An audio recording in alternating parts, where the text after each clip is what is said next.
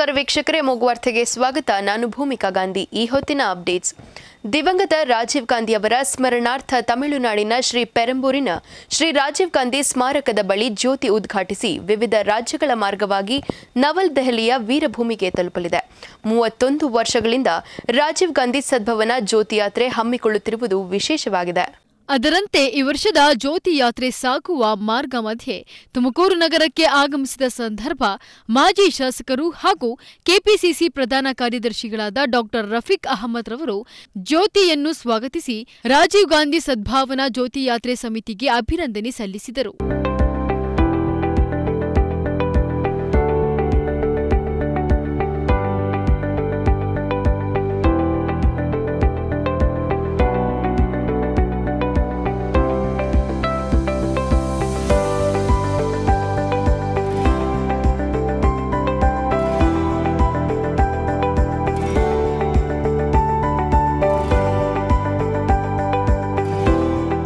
ಇನ್ನು ಈ ವೇಳೆ ಡಾಕ್ಟರ್ ರಫೀಕ್ ಅಹಮದ್ ರವರು ಮಾತನಾಡಿ, ರಾಜೀವ್ ಗಾಂಧಿ ಅವರ ವಿಚಾರಾಧಿಗಳನ್ನು ಪಸರಿಸುವ ಉದ್ದೇಶದಿಂದ ಈ ಯಾತ್ರೆಯನ್ನು ಹಮ್ಮಿಕೊಳ್ಳಲಾಗಿತ್ತು.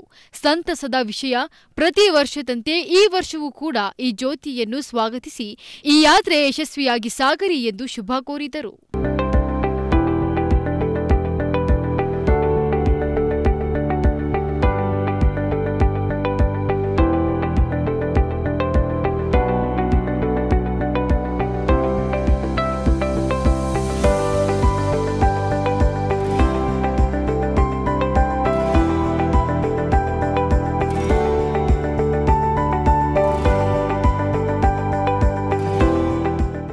ಸಮಿತಿಯ ಕಾರ್ಯಾಧ್ಯಕ್ಷರಾದ ದೊರೈ, ಪದಾಧಿಕಾರಿಗಳಾದ ಮಾಣಿಕ್ಯ ರೆಡ್ಡಿ ಮತ್ತು ಗೋಮತೇಶನ್ ಮತ್ತಿತರರು ಹಾಜರಿದ್ದರು. ಮಾರುತಿ ಪ್ರಸಾದ್ ಅಮೋಕ್ಷಿವೇ ತುಮಕೂರು. ಕೋಟೆ ಬಸವಣ್ಣ ದೇವಸ್ಥಾನ ಮುಂಭಾಗದ ರಸ್ತೆಯನ್ನ ಅವೈಜ್ಞಾನಿಕವಾಗಿ ಮಾಡಲಾಗಿತ್ತು. ಇದರಿಂದಾಗಿ ಈ ಜಾಗದಲ್ಲಿ ಸಾಕಷ್ಟು ಅಪಘಾತಗಳು ಆಗಿ ಸಾವು ನೋವು ಸಂಭವಿಸಿರುವ ನಿದರ್ಶನಗಳು ಜಾಸ್ತಿ ಇದೆ. ಈ ಕುರಿತು ವರದಿ ಇಲ್ಲಿದೆ, ನೋಡಿ. ದೇವಸ್ಥಾನದ ಮುಂಭಾಗದಲ್ಲಿರುವ ರಸ್ತೆಯು ಹತ್ತರಿಂದ ಹದಿನೆರಡು ಅಡಿ ಆಳದವರೆಗೂ ಗುಂಡಿ ಬಿದ್ದಿದ್ದು, ಈ ಗುಂಡಿಯಿಂದಾಗಿ ಯಾವುದೇ ಅನಾಹುತ ಸಂಭವಿಸಿದರೂ ಆಶ್ಚರ್ಯವಿಲ್ಲ. ದೇವಸ್ಥಾನ ಮುಂಭಾಗದಲ್ಲಿ ರಸ್ತೆ ವಿಭಜನೆ ಮಾಡಿರುವುದರಿಂದ ಗುಂಡಿ ಬಿದ್ದಿರುವ ರಸ್ತೆಯು ತುಂಬಾ ಕಿರಿಯದಾಗಿದ್ದು, ಈ ಕಿರಿದಾದ ರಸ್ತೆಯಲ್ಲೇ ಬಸ್, ಲಾರಿ ಸೇರಿದಂತೆ ಹಲವಾರು ವಾಹನಗಳು ಸಂಚರಿಸುತ್ತಿದ್ದು, ಈ ಗುಂಡಿಗೆ ವಾಹನದ ಚಕ್ರ ಸಿಕ್ಕಿದರೆ ದೊಡ್ಡ ಅನಾಹುತ ಆಗುವುದರಲ್ಲಿ ಯಾವುದೇ ಅನುಮಾನವಿಲ್ಲ.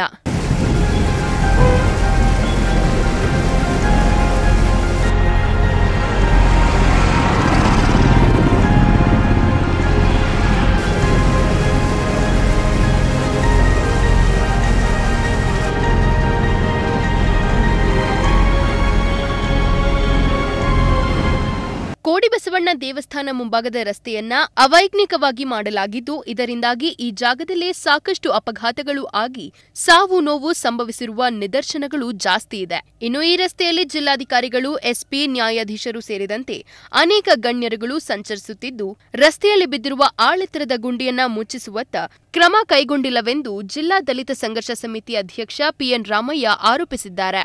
ಕೋಡಿ ಬಸವೇಶ್ವರ ದೇವಸ್ಥಾನ ಮುಂಭಾಗ ಇಲ್ಲಿ ಗೋ, ಅಲ್ಲೊಂದು ರಸ್ತೆ ಮಧ್ಯದಲ್ಲಿ ಒಂದು ಹಳ್ಳ ಬಿದ್ದಿದೆ. ಅಂದರೆ ಸೇತುವೆ ಸೇತುವೆ, ಸೇತುವೆಯೊಳಗೆ ದೊಡ್ಡ ಹಳ್ಳ ಇದೆ ಅದು. ಸುಮಾರು ಒಂದು ಹದಿನೈದು ಅಡಿ ಕೆ, ಆಳ ಇದೆ.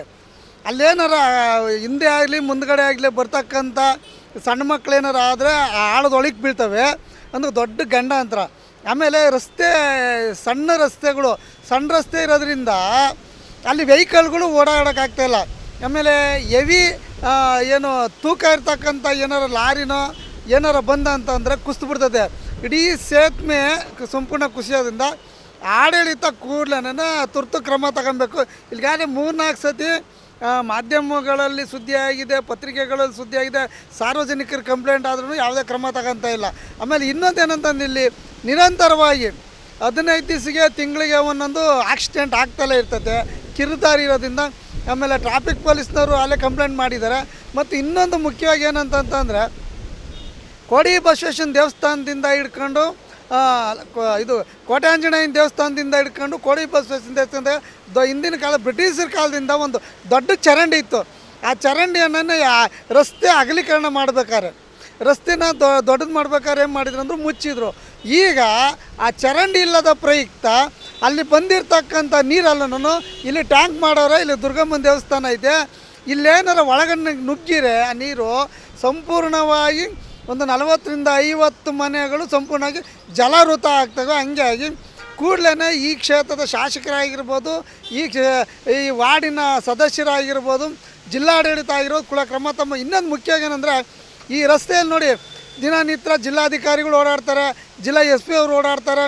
ನ್ಯಾಯಾಧೀಶರು ಓಡಾಡ್ತಾರೆ ಜಿಲ್ಲಾ ಉಪಾಧಿಕಾರಿಗಳು ಓಡಾಡ್ತಾವ್ರೆ ಆಮೇಲೆ ತಹಸೀಲ್ದಾರ್ ಓಡಾಡ್ತಾರೆ ಮಹಾನಗರ ಪಾಲಿಕೆಯವ್ರು ಓಡಾಡ್ತಾರೆ ಎಲ್ಲರೂ ಇನ್ನು ಈ ಬಾರಿ ವಾಹನಗಳು ಸಂಚರಿಸುವ ಈ ಸೇತುವೆ ತುಂಬಾ ಶಿಥಿಲವಾಗಿದ್ದು ಜಿಲ್ಲಾಧಿಕಾರಿಗಳು ಶಾಸಕರು ವಿಶೇಷ ಆಸಕ್ತಿ ವಹಿಸಿ ಕಾಯಕಲ್ಪ ಕಲ್ಪಿಸಿದರೆ ದೊಡ್ಡ ಅನಾಹುತವನ್ನ ತಪ್ಪಿಸಿದಂತಾಗುತ್ತದೆ. ಕ್ಯಾಮರಾಮನ್ ಹರೀಶ್ ಜೊತೆ ಎನ್ಎಸ್ ಮಾರುತಿ ಪ್ರಸಾದ್ ಅಮೋಕ್ ಟಿವಿ ತುಮಕೂರು. ರಾಷ್ಟ್ರೀಯ ಮಾನವ ಪರಿಸರ ಸಂರಕ್ಷಣಾ ಪಡೆ ವತಿಯಿಂದ ರಾಷ್ಟ್ರ ಜಾಗೃತಿ ಅಭಿಯಾನ ದೇಶಕ್ಕಾಗಿ ನಡಿಗೆ ಆಗಸ್ಟ್ ಹದಿಮೂರರಂದು ಹಮ್ಮಿಕೊಳ್ಳಲಾಗಿದೆ. ಈ ವಿಚಾರವಾಗಿ ಸುದ್ದಿಗೋಷ್ಠಿ ನಡೆಸಿ ಮಾತನಾಡಿದ ಅಧ್ಯಕ್ಷ ಜಿಎಸ್ ಬಸವರಾಜು ರಾಜ್ಯದ ರಾಜ್ಯಪಾಲ ತಾವರ್ ಚಂದ್ ಗ್ಯಾಲ್ಹೋಟ್ ಗಾಜಿನ ಮನೆಯಲ್ಲಿ ನಡೆಯುವ ಸಮಾರೋಪ ಕಾರ್ಯಕ್ರಮದಲ್ಲಿ ಭಾಗವಹಿಸುವವರು. ಬೆಳಗ್ಗೆ ಏಳು ಗಂಟೆಗೆ ಸರ್ಕಾರಿ ಜೂನಿಯರ್ ಕಾಲೇಜು ಮೈದಾನದಲ್ಲಿ ಉದ್ಘಾಟನೆ ನಡೆಯಲಿದ್ದು, ನಟಿ ಚಂದನ ಅನಂತಕೃಷ್ಣ, ಶಾಸಕ ಜಿಬಿ ಜ್ಯೋತಿ ಗಣೇಶ್ ಜಿಲ್ಲಾಧಿಕಾರಿ ವೈಎಸ್ ಪಾಟೀಲ್, ಪೊಲೀಸ್ ಅಧೀಕ್ಷಕ ರಾಹುಲ್ ಕುಮಾರ್ ಶಹಾಪುರ್ವಾಡ್, ತುಮಕೂರು ವಿವಿ ಕುಲಪತಿ ಪ್ರೊಫೆಸರ್ ಎಂ ವೆಂಕಟೇಶ್ವರಲು ಭಾಗವಹಿಸುವವರು ಎಂದರು. ಬೆಳಗ್ಗೆ ಏಳು ಗಂಟೆಗೆ ದೇಶಕ್ಕಾಗಿ ನಡಿಗೆ ಅನ್ನುವ ಒಂದು ಅರ್ಥಪೂರ್ಣವಾದಂಥ ಮತ್ತು ಸಾಂದರ್ಭಿಕವಾದಂತಹ ವಾಕತಾನ್ ಕಾರ್ಯಕ್ರಮವನ್ನು ಜೂನಿಯರ್ ಕಾಲೇಜು ಮೈದಾನದಿಂದ ಆರಂಭ ಮಾಡೋದಿದೆ. ಅದರ ಉದ್ಘಾಟನೆಯನ್ನು ಕುಮಾರಿ ಚಂದನ ಅನಂತಕೃಷ್ಣ, ತುಮಕೂರಿನ ಹೆಣ್ಣುಮಗಳು ಕಿರುತೆರೆಯ ನಟಿ ಅವರು ಉದ್ಘಾಟನೆ ಮಾಡ್ತಾ ಇದ್ದಾರೆ. ಆ ಕಾರ್ಯಕ್ರಮದ ಘನ ಅಧ್ಯಕ್ಷತೆಯನ್ನು ತುಮಕೂರಿನ ಜನಪ್ರಿಯ ಶಾಸಕರಾದಂಥ ಮಾನ್ಯ ಜಿ ಬಿ ಜ್ಯೋತಿ ಗಣೇಶ್ ಅವರು ವಹಿಸಲಿದ್ದಾರೆ. ಅಂದು ಅತಿಥಿಗಳಾಗಿ ಮಾನ್ಯ ಜಿಲ್ಲಾಧಿಕಾರಿಗಳು, ಮಾನ್ಯ ಪೊಲೀಸ್ ವರಿಷ್ಠಾಧಿಕಾರಿಗಳು ಹಾಗೂ ತುಮಕೂರು ವಿಶ್ವವಿದ್ಯಾಲಯದ ಉಪಕುಲಪತಿಗಳು ಆಗಮಿಸಲ ಆಗಮಿಸುತ್ತಾರೆ. ಆ ಒಂದು ವಾಕತಾನ್ ದೇಶಕ್ಕಾಗಿ ನಡಿಗೆ ಕಾರ್ಯಕ್ರಮ, ಭಾರಿ ಯೋಚನಾಬದ್ಧವಾಗಿ, ಯೋಜನಾಬದ್ಧವಾಗಿ ಕಾರ್ಯಕ್ರಮ ನಡೆಯುತ್ತೆ. ಅಲ್ಲಿ ಸಹಸ್ರ ಸಹಸ್ರ, ಹತ್ತು ಸಹಸ್ರಕ್ಕೂ ಹೆಚ್ಚು ಸಂಖ್ಯೆಯ ವಿದ್ಯಾರ್ಥಿಗಳು, ಸಾರ್ವಜನಿಕರು, ದೇಶಭಕ್ತರು ಇಡೀ ರಾಜ್ಯ ಮತ್ತು ದೇಶವನ್ನು, ದೇಶದ ನಾಗರಿಕರಲ್ಲಿ ರಾಷ್ಟ್ರಾಭಿಮಾನವನ್ನು ಜಾಗೃತಿಗೊಳಿಸುವ ನಿಟ್ಟಿನಲ್ಲಿ ದೇಶಕ್ಕಾಗಿ ನಡಿಗೆ ಅನ್ನುವ ಕಾರ್ಯಕ್ರಮದಲ್ಲಿ ಭಾಗಿಯಾಗ್ತಾರೆ. ಇನ್ನು ಶಾಸಕ ಜಿಬಿ ಜ್ಯೋತಿ ಗಣೇಶ್ ಮಾತನಾಡಿ, ದೇಶಕ್ಕಾಗಿ ನಡೆಯುವ ಈ ವಾಕ್ತಾನ್ನಲ್ಲಿ ನಗರದ ಎಲ್ಲ ನಾಗರಿಕರು ಭಾಗವಹಿಸಬೇಕು. ಮುಂದಿನ ಪೀಳಿಗೆಗೆ ರಾಷ್ಟ್ರಭಕ್ತಿ ಮೂಡಿಸಲು ಪ್ರೇರಣೆಯಾಗಿರುವ ಕಾರ್ಯಕ್ರಮ ಯಶಸ್ವಿಯಾಗಬೇಕು ಎಂದರು. ಅದು ಬಿಜೆಎಸ್ ವೃತ್ತದ ಮುಖಾಂತರ ಗಾಜಿನ ಮನೆಗೆ ಹೋಗ್ತದೆ.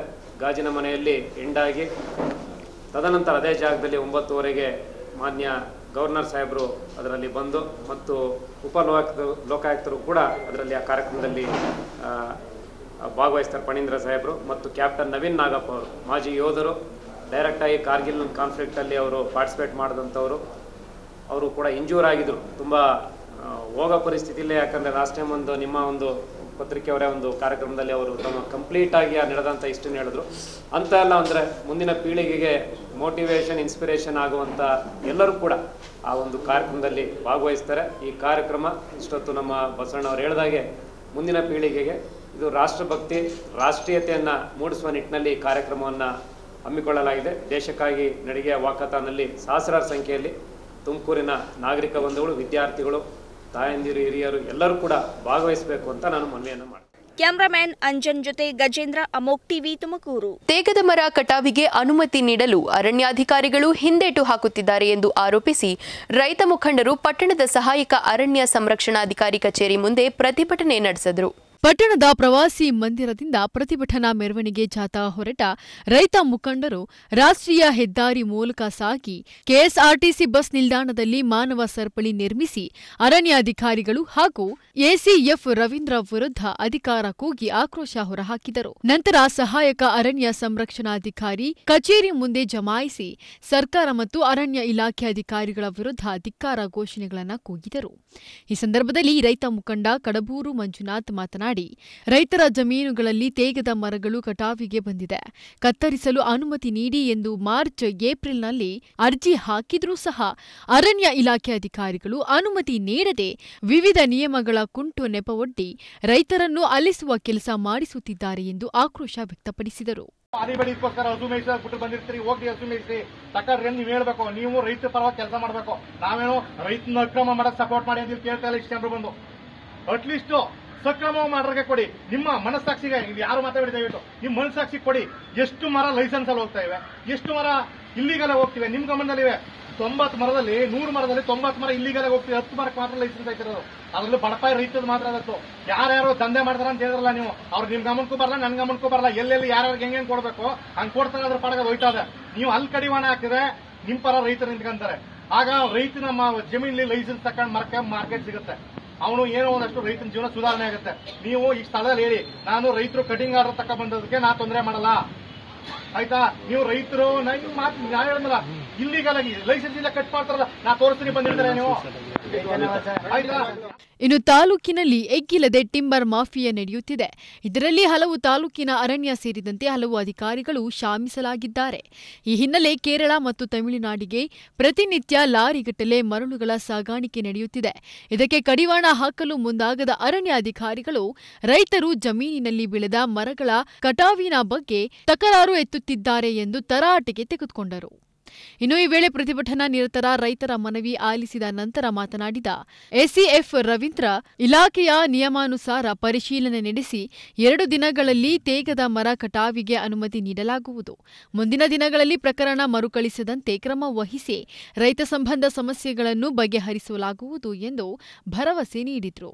ಇನ್ನು ಪ್ರತಿಭಟನೆಯಲ್ಲಿ ರೈತ ಮುಖಂಡರಾದ ಮಾಡ್ರಹಳ್ಳಿ ಮಹದೇವಪ್ಪ, ಕುಂದಕೆರೆ ಸಂಪತ್ತು, ಹಾಲಹಳ್ಳಿ ಮಹೇಶ್ ಬೆಟ್ಟದ ಮಾದಹಳ್ಳಿ ಷಣ್ಮುಖ ಶಿಂಡನಪುರ ರಘು ಕುನಗಳ್ಳಿ ಸತೀಶ್ ಸೇರಿದಂತೆ ಮತ್ತಿತರರು ಹಾಜರಿದ್ದರು. ಶಿವಕುಮಾರ್ ಅಮುಕ್ಟಿವೆ ಗುಂಡ್ಲುಪೇಟೆ. ದೇಶದಾದ್ಯಂತ ಎಪ್ಪತ್ತೈದನೇ ಸ್ವಾತಂತ್ರ್ಯ ಅಮೃತ ಮಹೋತ್ಸವದ ಸಂಭ್ರಮದಲ್ಲಿ ಮುಳುಗಿದೆ.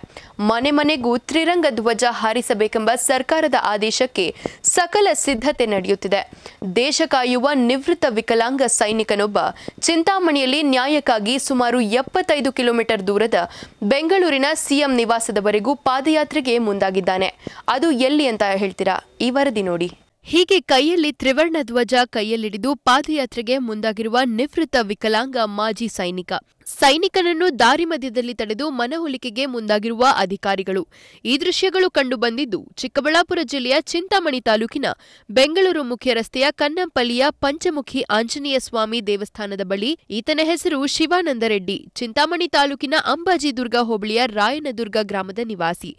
ಭಾರತೀಯ ಸೈನ್ಯದಲ್ಲಿ ಸೇವೆ ಸಲ್ಲಿಸಿ ಎರಡ್ ಸಾವಿರದ ಎರಡನೇ ಇಸ್ವಿಯಲ್ಲಿ ಕಾಶ್ಮೀರದ ಪೂಂಚಾ ಎಂಬ ಪ್ರದೇಶದಲ್ಲಿ ಕಾಲಿಗೆ ಪೆಟ್ಟು ಬಿದ್ದು ಸೇನೆಯಿಂದ ನಿವೃತ್ತಿ ಹೊಂದಿದ್ದಾನೆ. ಹೊಂದಿದ ಸೈನಿಕನಿಗಾಗಿ ಸರ್ಕಾರ ರಾಯಪಲ್ಲಿ ಗ್ರಾಮದಲ್ಲಿ ಐದು ಎಕರೆ ಜಮೀನು ಮಂಜೂರು ಮಾಡುವಂತೆ ಆದೇಶ ನೀಡಿದ್ದಾರೆ. ನಿವೃತ್ತಿ ಹೊಂದಿ ಇಪ್ಪತ್ತೆರಡು ವರ್ಷಗಳೇ ಕಳೆದರೂ ಭೂಮಿ ಮಂಜೂರಾಗಿಲ್ಲ. ಇಪ್ಪತ್ತೆರಡು ವರ್ಷಗಳಿಂದ ಕಚೇರಿಗಳ ಬಳಿ ಅಲೆದಾಡಿ ಬೇಸತ್ತು ಬೆಂಗಳೂರಿನ ಸಿಎಂ ನಿವಾಸದವರೆಗೂ ಪಾದಯಾತ್ರೆಗೆ ಮುಂದಾಗಿದ್ದಾನೆ. ಕೆಲಸ ಇವತ್ತೇ ನಾನು ಮಾಡಿಕೊಡ್ತೀನಿ ಅಂತ ಹೇಳ್ಬಿಟ್ಟು ಭರವಸೆ ಕೊಟ್ಟರು. ನಮ್ಮನ್ನು ತಡೆದು ಕಾಲ್ನಡಿಗೆಯಿಂದ ತಡೆದ್ರು. ಆದರೆ ಈಗ ಎರಡೂವರೆ ಆದರೂ ಕೂಡ ತಹಸೀಲ್ದಾರ್ ಸಾಹೇಬರಾಗಲಿ, ಯಾರೇ ಆಗಲಿ ಅಧಿಕಾರಿ ಬರಲಿಲ್ಲ. ನಮ್ಮ ರೈತ ಸಂಘದ ಕಾರ್ಯದರ್ಶಿ ಕದ್ರೇಗೌಡರು ಫೋನ್ ಮಾಡಿ ದೂರವಾಣಿ ಮುಖಾಂತರ ಮಾತಾಡಿ ನನ್ನ ಕೈ ಕೊಟ್ಟರು ನಾನು ಮಾ, ನಾನು ಮಾತಾಡಿದ್ರೆ ಸರ್ ಇನ್ನೂ ಯಾರೂ ಬರಲೇ ಇಲ್ಲ ಅಂದರೆ ಇನ್ನೂ ಏನು ಮಾಡ್ತಾ ಇದ್ದೀರಲ್ಲಿ ಅಲ್ಲಿ ಹೋಗ್ತೀರಾ, ವಾಪಸ್ ಬರ್ತೀರಾ ಅಂತ ಹೇಳ್ತಾ ಇದ್ದಾರೆ ಮಾಡಿದ್ದೀನಿ ನಾನು ಅಂತ. ಏನು ಮಾಡಿದರೆ? ತೋರಿಸ್ಬೇಕು ನನ್ನ ಕೆಲಸ ಮಾಡಿರೋದು ಇನ್ನು ಪಾದಯಾತ್ರೆ ನಡೆಸಿದ್ದ ಸೈನಿಕನಿಗೆ ಚಿಂತಾಮಣಿ ತಾಲೂಕಿನ ರೈತ ಸಂಘಗಳ ಮುಖಂಡರು ಸಾಥ್ ನೀಡಿದ್ದಾರೆ. ಸೈನಿಕ ಪಾದಯಾತ್ರೆ ಪ್ರಾರಂಭಿಸಿದ ತಕ್ಷಣ ಚಿಂತಾಮಣಿ ತಾಲೂಕಿನ ತಹಶೀಲ್ದಾರ್ ಹನುಮಂತರಾಯಪ್ಪ ಸ್ಥಳಕ್ಕೆ ಭೇಟಿ ನೀಡಿ ಪಾದಯಾತ್ರೆ ನಿಲ್ಲಿಸುವಂತೆ ಮನವಿ ಮಾಡಿಕೊಂಡಿದ್ದಾರೆ. ಅಧಿಕಾರಿಗಳ ಕಚೇರಿಗಳಿಗೆ ಅಲಿದು ಅಲಿದು ಸುಸ್ತಾಗಿದ್ದ ಮಾಜಿ ಸೈನಿಕ ತಹಶೀಲ್ದಾರ್ ಮನವಿಗೆ ಬಗ್ಗದೆ ಪಾದಯಾತ್ರೆ ಮುಂದುವರೆಸಿದ್ದಾನೆ. ಇನ್ನು ಮಾಜಿ ಸೈನಿಕನಿಗೆ ಸಾಥ್ ನೀಡಿರುವ ರೈತ ಸಂಘಗಳ ಮುಖಂಡರು ನ್ಯಾಯ ಸಿಗುವವರೆಗೂ ಪಾದಯಾತ್ರೆ ನಿಲ್ಲಿಸಲ್ಲ ಎಂದು ಎಚ್ಚರಿಕೆ ಕೊಟ್ಟಿದ್ದಾರೆ. ಚಿಂತಾಮಣಿ ತಾಲೂಕು ಆಡಳಿತ ಸಂಪೂರ್ಣವಾಗಿ ನಿಷ್ಕ್ರಿಯಾಗಿದೆ ಇಡೀ ಇವತ್ತು ದೇಶಕ್ಕೆ ಯೋಧ ಚಿಂತಾಮಣಿದ ಕಾಲ್ನಡಿಗೆ ಪಾದಯಾತ್ರೆ ಹೋಗ್ತಾ ಕನಿಷ್ಠ ಸೌಜನ್ಯಕ್ಕಾದರೂ ಕೂಡ ತಾಲೂಕು ಆಡಳಿತ ಅವರ ಕಷ್ಟಗಳನ್ನು ಆಲಿಸುವಂಥ ಸ್ಥಿತಿಯಲ್ಲಿಲ್ಲ. ಹಾಗಾಗಿ ಇವತ್ತು ಚಿಂತಾಮಣಿ ತಾಲೂಕು ತಹಶೀಲ್ದಾರ್ ವಿರುದ್ಧ ಏನು ಇವತ್ತು ರೈತರಿಗೆ ಭೂಮಿ ಮಂಜೂರು ಮಾಡಿಲ್ಲ ಸೈನಿಕರಿಗೆ ಆ ಒಂದು ಹಕ್ಕಿಗಾಗಿ ವಿಧಾನಸೌಧ ಪಾದಯಾತ್ರೆ ನಂಬಿಕೊಳ್ತಾ ಇದ್ದೀವಿ. ಹಾಗಾಗಿ ಈ ಕೂಡಲೇ ಸರ್ಕಾರ ಗಮನ ಹರಿಸಬೇಕು. ಈ ಕೂಡಲೇ ಅವರಿಗೆ ಭೂಮಿ ಮುಂಜಾನೆ ಮಾಡಬೇಕು ಅಂತೇಳಿ ಇವತ್ತು ಪಾದಯಾತ್ರೆ ಮುಖಾಂತರ ತಮ್ಮ ಮಾಧ್ಯಮ ಹೇಳ್ತಾ ಇದ್ದೀನಿ. ಒಟ್ನಲ್ಲಿ ದೇಶ ಕಾಯುವ ಸೈನಿಕನಿಗೆ ಈ ದೇಶದಲ್ಲಿ ನ್ಯಾಯ ಸಿಗದೆ ಹೋದರೆ ಜನಸಾಮಾನ್ಯರ ಪರಿಸ್ಥಿತಿ ಏನು ಎಂಬ ಪ್ರಶ್ನೆ ಮೂಡಿದೆ. ಎಪ್ಪತ್ತೈದನೇ ಸ್ವಾತಂತ್ರ್ಯ ಅಮೃತೋತ್ಸವ ಆಚರಣೆಯ ಸಂಭ್ರಮದ ಸಮಯದಲ್ಲಿ ನಿವೃತ್ತ ವಿಕಲಾಂಗ ಸೈನಿಕನ ಪಾದಯಾತ್ರೆ ಸರ್ಕಾರಕ್ಕೆ ಮುಜುಗರ ತರುವುದಂತೂ ಸತ್ಯ. ವೆಂಕಟಾಚಲಪತಿ, ಅಮೋಕ್ ಟಿವಿ, ಚಿಂತಾಮಣಿ. ಅಣ್ಣ ತಮ್ಮಂದಿರ ಕುಟುಂಬ ಆಸ್ತಿ ವಿಚಾರವಾಗಿ ಸುಮಾರು ವರ್ಷಗಳಿಂದ ಒಳಜಗಳಗಳು ನಡೆಯುತ್ತಲೇ ಇತ್ತು. ಆದರೆ ತೋಟಕ್ಕೆ ಕಳೆನಾಶಕ ಮದ್ದು ಸಿಂಪಡಣೆ ಮಾಡಿ ಮುಸುಕಿನ ಜೋಳ ಬೆಳೆ ಹಾಳಾಗಿದೆ ಎಂದು ಇಬ್ಬರ ನಡುವೆ ಜಗಳ ನಡೆದು ಗಾಯಾಳುಗಳನ್ನು ಆಸ್ಪತ್ರೆಗೆ ದಾಖಲಿಸಿರುವ ಪ್ರಕರಣ ನಡೆದಿದೆ. ಹೌದು, ಚಿಕ್ಕಬಳ್ಳಾಪುರ ತಾಲೂಕಿನ ರಾಯಪ್ಪನಹಳ್ಳಿ ಗ್ರಾಮದಲ್ಲಿ ರಾಮಪ್ಪ ಮತ್ತು ನರ್ಸಪ್ಪ ಎಂಬುವವರು ಅಣ್ಣ ತಮ್ಮಂದಿರ ಕುಟುಂಬವಿದ್ದು ಈ ಹಿಂದೆ ಅವರ ಅಪ್ಪ ಬದುಕಿರುವಾಗಲೇ ಅವರ ಆಸ್ತಿ ಇಬ್ಬರಿಗೂ ಭಾಗಗಳಾಗಿತ್ತು. ಆದರೆ ಆಸ್ತಿ ವಿಚಾರವಾಗಿ ಇಬ್ಬರು ಅಣ್ಣ ತಮ್ಮಂದಿರ ನಡುವೆ ಆಸ್ತಿ ವಿಚಾರವಾಗಿ ಒಳಜಗಳಗಳು ನಡೆಯುತ್ತಲೇ ಇತ್ತು. ನಿನ್ನೆ ಅಂದ್ರೆ ಭಾನುವಾರ ನರಸಪ್ಪನವರ ಕುಟುಂಬದವರು ತನ್ನ ಜಮೀನಿನ ಬದುವಿನಲ್ಲಿ ಕಳೆ ಜಾಸ್ತಿಯಾಗಿದೆ ಎಂದು ಕಳೆನಾಶಕ ಮದ್ದು ತಂದು ಸಿಂಪಡಣೆ ಮಾಡಿದ್ದಾರೆ. ಕಳೆನಾಶಕ ಮದ್ದು ಸಿಂಪಡಣೆ ಮಾಡಿದ ಪಕ್ಕದ ರಾಮಪ್ಪನ ಜಮೀನಿದ್ದು ಜಮೀನಿನಲ್ಲಿ ಜೋಳದ ಬೆಳೆ ಇದ್ದು ಅದಕ್ಕೆ ಕಳೆನಾಶಕ ಮದ್ದು ತಗುಲಿ ಜೋಳದ ಬೆಳೆ ಹಾಳಾಗಿದೆ ಎಂದು ಕಳೆನಾಶಕ ಮದ್ದು ಸಿಂಪಡಣೆ ಮಾಡಿದ್ದನ್ನ ನೆಪ ಇಟ್ಟುಕೊಂಡು ಹಳೆಯ ಆಸ್ತಿಯ ವಿಚಾರದ ದ್ವೇಷವನ್ನು ಇಟ್ಟುಕೊಂಡು ಬಂದು ಜಗಳ ತೆಗೆದಿದ್ದಾರೆ ಎಂದರು.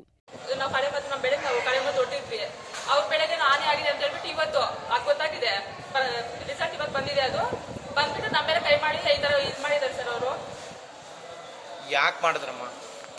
ನಮ್ಮ ಬೆಳೆ ನಾವು ಅವ್ರ ಜೋಳ ಇಕ್ಕಿದ್ರು ಅಲ್ಲಿ. ನಮ್ ಜೋಳ ಎಲ್ಲ ಹಾಳಾಗ್ಬಿಟ್ಟಿದೆ ಅಂತ ಹೇಳ್ಬಿಟ್ಟು ಈ ತರ ಮಾತು ಮಾತು ಮಾತುಕತೆ ಬೆಳಿಗ್ಗೆ ನಡೀತು. ಇವಾಗ ಬಂದ್ಬಿಟ್ಟು ರೌಡಿಗಳೆಲ್ಲ ಮತ್ತೆ ಇವಾಗ ಹೊಡ್ತಿದ್ದಾರೆ ನಮ್ಮನ್ನ. ಯಾರು ಬಂದಿದ್ರು? ಚೇತನು ಪುನೀತು ಮತ್ತೆ ಎಂಟು ಜನ ರೌಡಿಗಳು ಸರ್. ನಾವ್ ಇಬ್ರು ಮಾತ್ರ ನಾನು ನಮ್ಮ ಯಜಮಾನ್ ಮಾತ್ರ ತೋಟದ ಕೆಲಸ ಮಾಡ್ಕೊಂಡಿದ್ವಿ.